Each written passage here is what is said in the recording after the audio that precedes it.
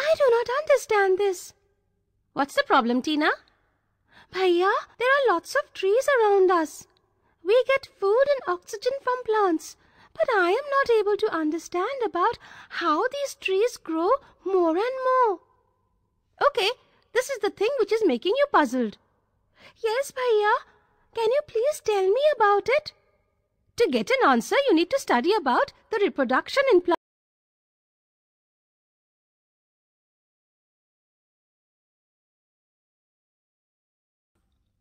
After completing this module, you will be able to learn about growth and response to stimuli in living things, identify some seed-producing plants and plants reproducing vegetatively, understand the germination of seeds and conditions needed for the process of germination, know about various types of crops.